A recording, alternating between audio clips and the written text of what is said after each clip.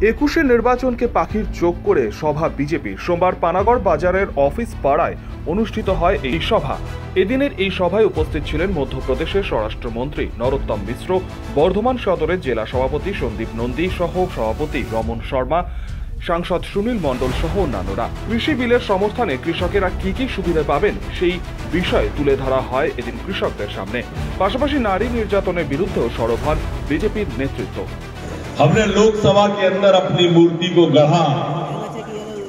और अब विधानसभा में आपके सामने है। लोकसभा चुनाव में भी लोग मानते नहीं थे कि इतनी बड़ी तादाद में भाजपा जीत जाएगी। लेकिन हमारा नारा था कि लोकसभा में हाफ़ और विधानसभा में साफ़। नहीं डरने की ज़रूरत नहीं है। आप लोग ये लड़ाई राष्ट्रवाद की लड़ाई लड़ रहे हो, अराजकता के खिलाफ लड़ाई लड़ रहे हो।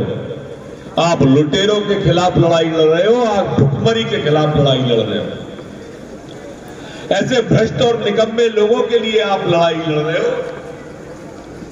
आप पश्चिम बंगाल के पुनरुद्धार और जीर्णोद्धार के लिए लड़ाई लड़ रहे हो।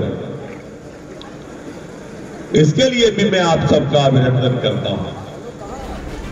এদিনের এই সভায় বিজেপিতে যোগদান করেন প্রায় কুড়ি জন। মধ্যপ্রদেশের স্বরাষ্ট্রমন্ত্রী নরোত্তম মিশ্র দলীয় পতাকা তাদের হাতে তুলে দিয়ে দলে বরণ করে নেন। Sujit Bhattacharya, LCW India, Panagarh. Daily news আপডেটের জন্য সাবস্ক্রাইব করুন আমাদের ইউটিউব চ্যানেল, ফলো করুন আমাদের Facebook page, LCW India, witness the story.